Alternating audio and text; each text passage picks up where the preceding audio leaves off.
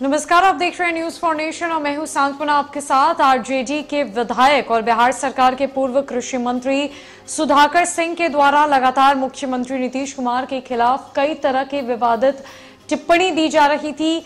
उनके विवादित बयान से बिहार की सियासत गरमाई हुई थी। जहाँ महागठबंधन में आरजेडी और जेडीयू आमने सामने हो गई, वहीं सुधाकर सिंह को बार बार जदयू की तरफ़ से अल्टीमेटम जारी किया जा रहा था, लेकिन उन्होंने अपने बोल पर लगाम नहीं लगाए। कई तरह के अपशब्दों का प्रयोग उनके तरफ़ से किया गया। जहाँ तक उन्होंने मुख्यमंत्री नीतीश कुमार को भिकमंगा मुख्यमंत्री, बेशर्म मुख्यमंत्री और शिखंडी तक बता दिया। अब तक आरजेडी ने सुधाकर सिंह के मामले पर चुप्पी साध रखी थी, पर अब आरजेडी से बड़ी खबर निकलकर सामने आ रही है, जहाँ आरजेडी की तरफ़ से सुधाकर सिंह को कारण बताओ नोटिस जारी हो चुका है। दरअसल आरजेडी ने सुधाकर सिंह को चेता दिया है और कहा है कि आपने बार बार नियमों का उल्लंघन किया है, जबकि आरजेडी सुप्रीमो लालू प्रसाद यादव ने राष्ट्रीय कार्यकारिणी की बैठक में ये कहा था कि कोई भी फैसला या किसी भी तरह का बयान सिर्फ़ और सिर्फ़ तेजस्वी यादव और लालू प्रसाद यादव ही दे सकेंगे।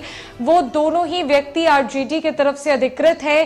किसी भी तरह की टिप्पणी या बयानबाजी के लिए या फिर किसी भी तरह सिर्फ़ तेजस्वी यादव और लालू यादव ही अधिकृत है। आरजेडी की तरफ़ से कि वो किसी भी तरह का बयान दे सके या किसी भी तरह की टिप्पणी कर सके। पर सुधाकर सिंह के बोल रुके नहीं और अब आरजेडी ने क्या कुछ कहा है? नोटिस में वो देखिए। राष्ट्रीय जनता दल की तरफ़ से जारी नोटिस में कहा गया है कि राष्ट्रीय अध्यक्ष के निर्देशानुसार आपको ये कारण बताओ, नोटिस जारी किया जा रहा है। उनके संज्ञान में आया है कि एक बार पुनः आपने गठबंधन धर्म की मर्यादा का उल्लंघन किया। राजद के राष्ट्रीय अधिवेशन में सर्वसम्मति से यह प्रस्ताव पारित किया गया था कि गठबंधन के मसलों और शामिल दलों के शीर्ष नेतृत्व के संदर्भ में पार्टी के आदरणीय राष्ट्रीय अध्यक्ष अथवा माननीय उप मुख्यमंत्री तेजस्वी यादव ही बात रखने के लिए अधिकृत है। अपने, आपने लगातार इस प्रस्ताव का उल्लंघन किया है। आपके बयान लगातार इन ताकतों को बल देते हैं कि जो संविधान को रौंद कर न्याय, सौहार्द और समानता की पैरोकारी को समाप्त करना चाहता है। आपके आपत्तिजनक बयान देश, प्रदेश और राजद के एक बड़े वर्ग को आहत कर रहे हैं। राष्ट्रीय जनता दल के संविधान की धारा तैतीस और नियम 22 के तहत आप कृपया 15 दिनों के अंदर यह स्पष्टीकरण दें कि क्यों नहीं आपके विरुद्ध कठोर अनुशासनात्मक कार्रवाई की जाए।